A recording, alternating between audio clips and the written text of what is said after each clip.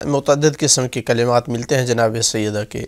बाज़ मकाम पे उन्होंने एक इंसान में हैस इंसान का मकाम और अजमत बयान की है कि एक इंसान का मकाम क्या है हकीकी मकाम।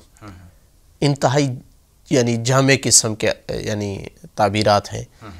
फरमाया कि अन तुम इबादल्ला अल्लाह के बंदो तुम नुस्ब अमर ही व नाहिए तुम अल्लाह के अम्र और नाही का नहीं का नस्बुल हो मरकज़ हो।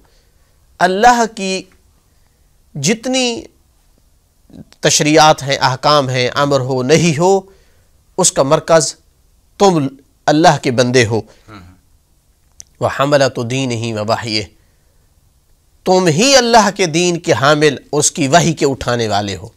यानी इंसान का मकाम क्या है? अल्लाह की वही को उठाने वाला है। अल्लाह की गुफ्तगु का मरकज़ और महवर है। चूँकि अमर और नहीं, यानी अल्लाह की गुफ्तगु कलाम, उसका मरकज़ कौन है? इंसान है।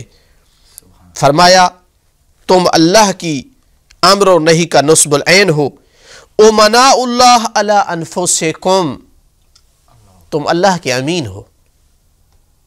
किस पर? अपने नफ्सों पर। तुम्हारे नफ्स, तुम्हारे पास अल्लाह की अमानत है। यानी तुम मालिक नहीं हो। तुम मालिक नहीं हो। और देखो अल्लाह ने कितना तुम पे एतमाद किया है कि तुम्हारे हवाले कर दिया है। तुम्हारी अमानत को देखने के लिए कि तुम किस हद तक अमीन रह अमीन रहते हो। वबुलगा उमम। और तुम अल्लाह के दीन के मुबलग हो दूसरी उमतों तक। यानी तुम में से हर बंदा ये मकाम रखता है जो मकाम एक नबी का होता है। नबी का काम है अल्लाह ताला से लाना और तुम तक पहुंचाना। तुम्हारा काम है कि आगे अगली नस्लों तक पहुंचाओ। ये हकीकी मोमिन की ज़िम्मेदारी है। ज़िम्मेदारी है। यानी फ़कत मौलाना और आलिम दिन तक ये हर आदमी अल्लाह की तरफ़ से अमीन है अपने नफ्स पर और हर आदमी के गर्दन पर यह ज़िम्मेदारी है। उसका ये मकाम है कि वो दीन को अल्लाह की जानब से मुबलग है। तो एक जैसे ये एक ज़िम्मेदारी है लेकिन एक जहत से एक मकाम और अजमत है इंसान का कि इंसान कितना अहमियत रखता है परवरदिगार की निगाह में कि उसकी तरफ़ से अमीन है उसकी गुफ्तगु का मरकज़ है और उसकी तरफ़ से भेजा हुआ एक मुबलग है।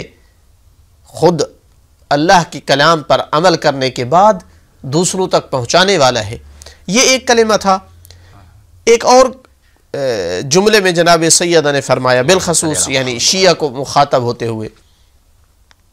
कि अगर तुम हमारे हर अमर पर अमल नहीं करते हो और हर हमारी नहीं से नहीं बचते हो तो अपने आप को शिया न कहलवाओ।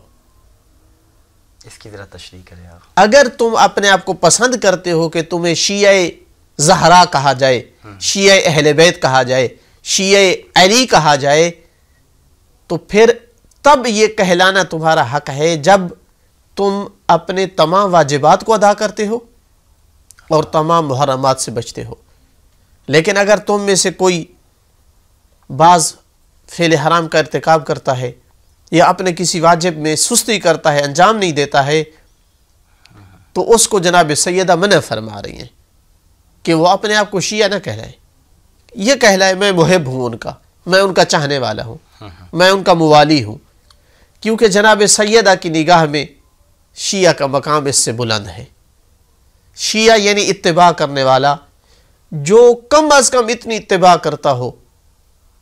यह मतलूब नहीं है हर शिया मैं समतमार बन जाए सलेमान और अबूज़र बन जाए लेकिन कम अज़ कम इतना हो कि अपने किसी वाजिब को छोड़े नहीं और किसी हराम का इरतकब। न करे। अगर ऐसा करता है तो जनाब सैदा की तरफ़ से उसे इजाज़त है कि वो अपने आप को शी अहल बैत कहलाए।